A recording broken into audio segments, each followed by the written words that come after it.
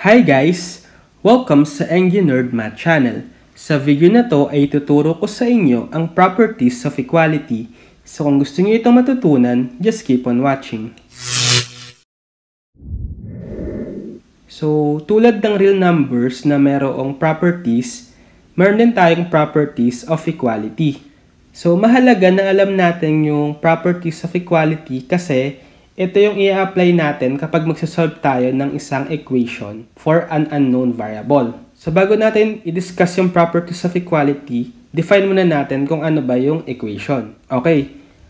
So an equation is a statement of equality between A two numbers, B two mathematical expressions, C a number and a mathematical expression. So, pag sinabing equation, ang keyword nga natin doon yung equal or yung equality. So, dapat meron tayong two quantities that are equal. So, dapat meron tayong laging symbol na equal sign. And then sabi, pwede raw to between two numbers. So, for example, uh, 2 plus 1 is equal to 3 plus 0.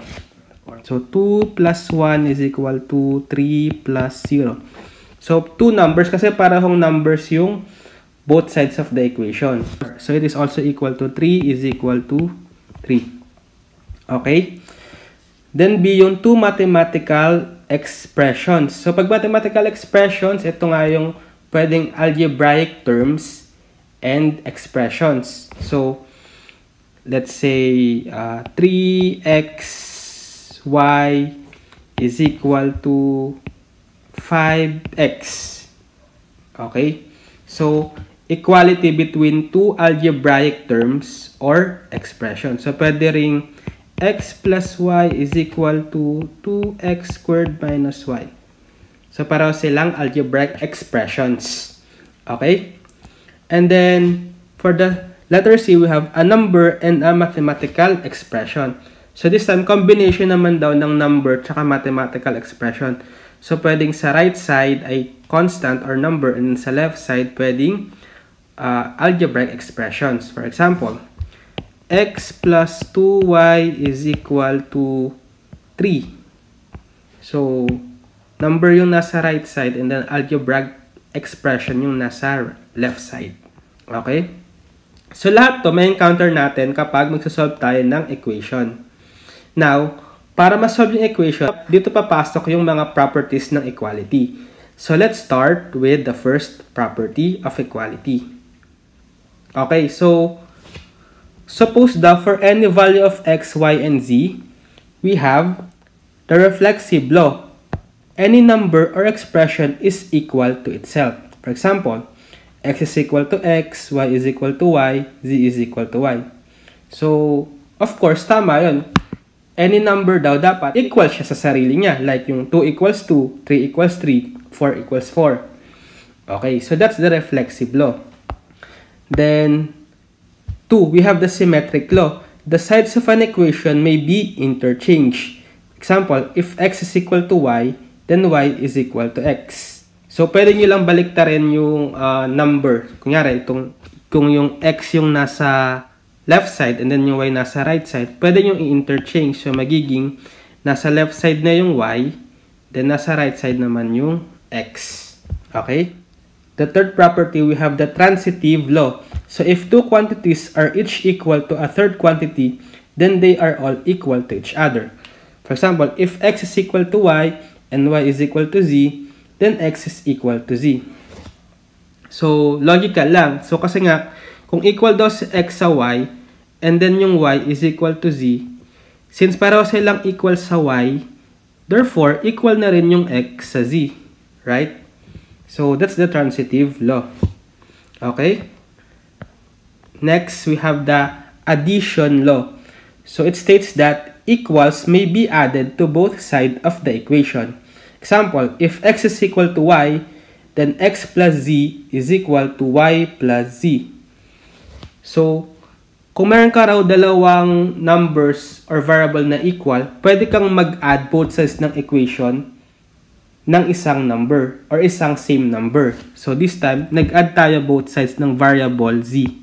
So therefore, since equal yung x sa y, kapag nag-add tayo ng isang same number sa both sides, equal din sila. So, x plus z is equal to y plus z. Okay? Next, we have subtraction law. So, equals may be subtracted from both sides of the equation. So, example, if x is equal to y, then x minus z is equal to y minus z. So, parang ano lang to, special case lang to ng addition. So, this time, mag, uh, so subtract naman tayo both sides of equation. So, kung equal nga raw yung x saka sa y, then pwede tayong mag-subtract both sides ng same value dun sa equation. Then, magiging equal pa rin sila. So, kung nag-subtract tayo ng z both sides, sa x saka sa, sa x equals y, then yung x minus z magiging equal pa rin sa y minus z. Okay? 6, we have the multiplication law. So, both sides of the equation may be multiplied by equals. Example, if x is equal to y, then zx is equal to zy. So, kung mag-multiply naman daw tayo ng same number sa both sides ng isang equation, then yung resulting product ay magiging equal pa rin.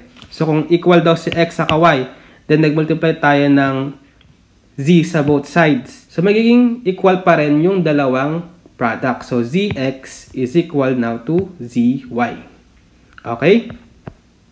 Then, also we have the division law. Both sides of the equation may be divided by equals. Example, if x is equal to y, then x over z is equal to y over z. The same naman daw kung meron tayong dalawang equal numbers or variable, let's say x and y, and then nag-divide tayo both sides ng isang number. So this time, dinivide natin sila both sides by z. Then yung quotient nila ay magiging equal din. So x over z is equal to y over z. Okay? 8. The substitution law. So equals may be substituted for equals.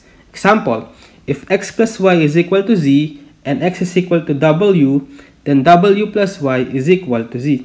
So sabihin, kapag nag-substitute daw tayo ng isang value which is equivalent to another variable, pwede natin i-substitute yung value na to doon sa equation, doon sa isang variable.